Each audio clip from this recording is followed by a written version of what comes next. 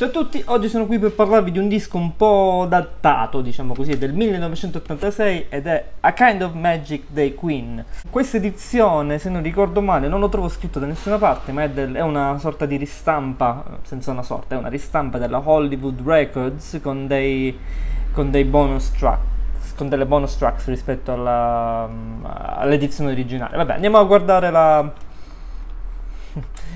quanto erano semplici i CD vecchi stampati vent'anni fa, semplicemente il, la grafica, le scritte sopra il disco, il disco vergine.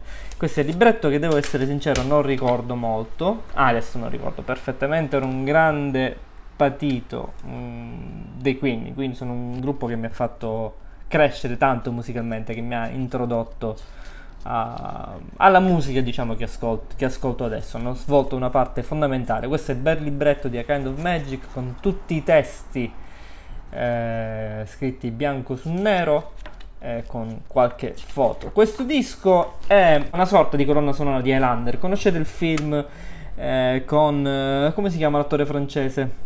Christopher Lambert. E eh, Sean Connery tra l'altro, film bellissimo ai tempi, secondo me, ma che rivisto adesso è invecchiato male perché ci sono degli effetti speciali che allora avevano senso, anzi erano anche gradevoli da vedere, ma adesso proprio sono invecchiati malissimo. Vabbè, non siamo qui per parlare del film, ma siamo qui per, per parlare di A Kind of Magic, che è il terzultimo album dei Queen che portò al Live Magic, al Live at Wembley, eccetera, eccetera. Questo è un disco, uno dei dischi migliori della carriera dei Queen, secondo me, seppur con una svolta al pop. Qui c'è un po' di tutto in realtà, c'è un po' di pop. Ah, ma ho aperto la parentesi, come al solito non l'ho chiusa. Dicevo che è una sorta di colonna sonora perché sono un sacco di di canzoni che fanno parte di quel film di Highlander come um, One Year of Love, Wants to Live Forever, Gimme the Prize, Don't Lose Your Head, Princess of the Universe se ricordo bene, A Kind of Magic perché è una battuta del film. Però pensi che non c'entrano un cacchio come Penny So Close to Pleasure o One Vision che faceva la colonna sonora a un film che si chiamava Eagle qualcosa. Eh, quindi insomma una sorta di colonna sonora. E dicevo che c'è un po' di tutto. C'è l'anima pop dei Queen della seconda parte di carriera. Tra l'altro bellissima la copertina con le loro eh, caricature così a cartoni animati. C'è l'anima un po' più poppettara di, mm, eh, di Freddy con uh, Penny So Close to Pleasure, la canzone che per me è una skip track assoluta perché smorza tutto l'entusiasmo del, del, disco per quanto mi riguarda, o pezzi molto rock come One Vision, come Gimme the Prize, Don't Lose Your Head per, quando, per quanto abbia dei suoni un po' poco rock per, per alcune cose o Princess of the Universe che è uno dei miei preferiti del disco.